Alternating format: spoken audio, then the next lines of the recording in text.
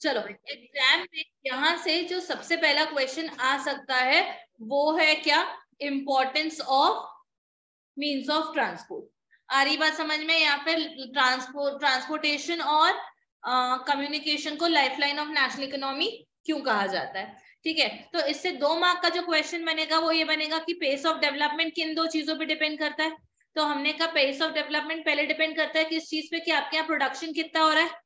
और दूसरा, ये प्रोडक्शन वाला जो जो भी चीज़ है, ये कंज्यूमर्स तक कितनी जल्दी पहुँच रही है।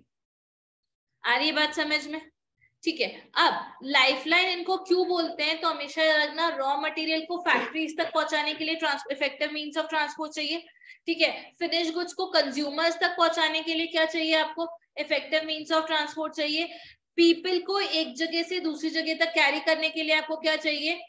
इफ़ेक्टिव मीन्स ऑफ़ ट्रांसपोर्ट चाहिए। इसके अलावा जब आपको इंटरनेशनल बिज़नेस करना होता है एक्सपोर्ट और इम्पोर्ट का तो भी आपको क्या चाहिए? Effective means of transport and communication चाहिए। आई बात समझ में? तो इसलिए डेवलपमेंट में क्या चाहिए? ट्रांसपोर्टेशन की बहुत इंपॉर्टेंस है एज वेल एज कम्युनिकेशन की। ठीक है ना?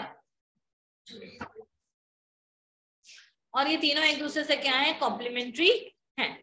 सबसे पहले कहानी स्टार्ट कर देते रोडवेज़ की। Roadways largest network one of the largest network in the world total length 3.3 million kilometre railway से बेटर है। एज ओवर रेलवे मतलब अगेन रेलवे से क्या है? बेटर है। और दिन पे दिन रोड्स की इंपॉर्टेंस बढ़ती जा रही है। रोड्स इंपॉर्टेंट या रोड्स के फ़ायदे क्यों है?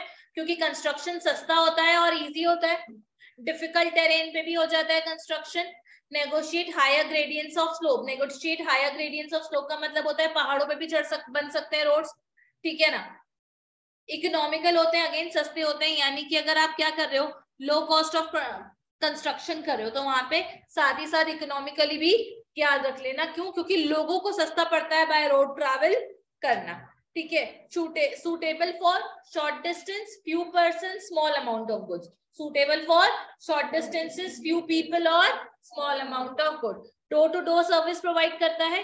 Feeder to other mode of transport feeder to other mode of transport मतलब अगले पॉइंट में लिखा हुआ है कि रेलवे स्टेशन तक भी जाना है तो आपको रोड से जाना पड़ेगा सी पोर्ट से भी तक जाना है तो रोड से जाना पड़ेगा एयरपोर्ट पे भी जाना है तो ठीक है। डिफेंस के लिए बहुत सुटेबल है रूरल एरियाज़ के लिए बहुत सुटेबल है फ्लेक्सिबल रिलायबल और स्पीडी है, ठीक है ना? पेरिशेबल गुड्स या तो रोड ट्रेन से ट्रांसपोर्ट नहीं हो सकते शिप से भी ट्रांसपोर्ट नहीं हो सकते, ठीक है? तो वो किसके थ्रू होता है? रोड्स के थ्रू होता है, ठीक है? फ्लड और रॉड के टाइप पे बहुत काम आते हैं क्लियर है? आगे जाए। इंपॉर्टेंट ये गोल्डन क्वाड्रिलैटरल गोल्डन क्वाड्रिलैटरल में क्या है? सिक्स लेन सुपर हाईवेज है। गोल्डन क्वाड्रिलैटरल में क्या है? सिक्स लेन सुपर हाईवेज है। दिल्ली कोलकाता चेन्नई मुंबई दिल्ली दिल्ली कोलकाता चेन्नई मुंबई दिल्ली आई बात समझ में? नॉर्थ साउथ कॉरिडोर का है? Srinagar to Kanyakumari east west corridor का है? Silchar to Porbandar okay objective क्या है? रिड्यूस टाइम एंड डिस्टेंस और इसको कौन मेंटेन करता है? N H A I national highway authority of India Kolkata Chennai Mumbai north south corridor Srinagar Jammu and Kashmir में. यहाँ नीचे कौन? Kanyakumari Silchar east west corridor Silchar east Assam Porbandar Gujarat west ठीक है? Major objective क्या है कि इन, सा, इन सारे इनका डिस्टेंस और टाइम रिड्यूस करना है? कौन मेंटेन करता है? N H A I national highway authority of India इसके बाद आते हैं, इससे थोड़ी छोटी चीज़ नेशनल हाईवे जो हमारे देश के एक्सट्रीम पार्ट्स को कनेक्ट करते हैं।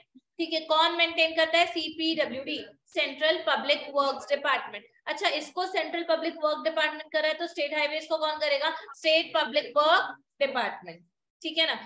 और ये नॉर्थ टू साउथ भी है ईस्ट टू वेस्ट भी है। नेशनल हाईवे नंबर वन कौन सा है? शेर, शाह, सूरी मार्ग कहाँ से कहाँ तक? दिल्ली से अमृतसर तक। नेशनल हाईवे नंबर वन शेर, शाह, सूरी मार्ग कहाँ से कहाँ? Delhi to Amritsar state highway state के हेडक्वार्टर्स को लिंक करते हैं। इनको मेंटेन करता है state public works department state public district roads district headquarters को क्या करते हैं? लिंक करते हैं और इनको मेंटेन कौन करता है? जिला परिषद। इसके अलावा जो रूरल रोड्स रहते हैं, ठीक है, वो विलेजेस को टाउन से कनेक्ट करते हैं और विलेजेस को दूसरे विलेजेस से कनेक्ट करते हैं और ये किसके अंदर कवर होते हैं? प्रधानमंत्री ग्रामीण सड़क योजना। इसके अलावा again border roads exam point of view से इंपॉर्टेंट है, ठीक है? बॉर्डर एरियाज़ के रोड्स होते हैं, कौन बनाता है? B R O B R O का मतलब होता है बॉर्डर रोड्स ऑर्गेनाइजेशन कब एस्टेब्लिश हुआ था? 1960 कब एस्टेब्लिश हुआ था? 19 ठीक है ना? और ये बहुत इंपॉर्टेंट है हमारे नॉर्थ और नॉर्थ ईस्टर्न एरियाज़ में।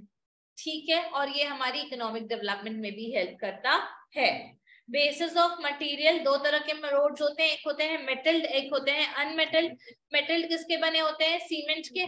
जो ऑल वेदर में खराब नहीं होते अनमेटल जो रहते हैं, वो रेनी सीज़न में खराब हो जाते हैं। ठीक है? हमारे यहाँ रोड डेंसिटी कितनी है? जम्मू एंड कश्मीर में टेन किलोमीटर है और केरला में 375 है। नेशनल एवरेज कितना है? 75 किलोमीटर पर स्क्वायर किलोमीटर पर 100 स्क्वायर किलोमीटर। ठीक है? Problems associated with road transport क्या है? रोड अभी रिक्वायर्ड से क्या है? कम है। इनएडिक्वेट है। लार्ज वॉल्यूम अनमेटल्ड बहुत ज़्यादा है। नेशनल हाईवेज इनएडिक्वेट है। सिटीज़ के रोड्स बहुत कंजेस्टेड है। ठीक है ना? पुअर क्वालिटी के हैं और बहुत नैरो हैं, ठीक है? ट्रैफ़िक सिग्नल्स पे बहुत ट्रैफ़िक हो जाता है और over the years road vehicles तो डबल हो गए बट रोड डबल नहीं हो पाए। बट अगर तुम लोग अभी लेटेस्ट बुक देखोगे तो प्रॉब्लम्स ऑफ़ रोड ट्रांसपोर्टेशन नहीं दी हुई है। क्लियर रेलवेज इंपॉर्टेंट है हमारे लॉन्ग डिस्टेंसेस के लिए ये बिज़नेस को भी प्रमोट करता है और टूरिज़्म को भी प्रमोट करता है। लॉन्ग डिस्टेंसेस के लिए बहुत सही है। हमारे देश का इंटीग्रेटिंग फोर्स है। हमारी economic life to a large extent railways पे डिपेंड करती है। फ़र्स्ट ट्रेन ऑफ़ इंडिया कब आई थी? 1953 में आई थी। कहाँ से कहाँ चली थी? मुंबई से थाने। इंडिया में 16 16 रेलवे जोन्स हैं। थ्री तरह की गॉज है। ब्रॉड 1.676 मीटर्स मीटर 1 मीटर और नैरो 0.72 2.61 मीटर्स ठीक है? हमारे यहाँ रेलवे का डिस्ट्रीब्यूशन बहुत अनइवन है। Factors influencing distribution of railways exam point of view से बहुत इंपॉर्टेंट है। Factors influencing distribution of railways exam point of view से बहुत इंपॉर्टेंट है। सबसे पहला क्या है? फिजियोग्राफी इकोनॉमी एडमिनिस्ट्रेशन और डेंसिटी ऑफ़ पॉपुलेशन ये चार है। ये चार क्या है? फैक्टर्स अब जो नीचे हम लोग पढ़ेंगे वो इन चारों में से कौन सा फैक्टर कहाँ पर प्रेजेंट है और कहाँ पर फेवरेबल तरीके से प्रेजेंट है और कहाँ पर अनफेवरेबल तरीके से प्रेजेंट है? फैक्टर चार ही है फिजियोग्राफी फिजियोग्राफी मतलब पहाड़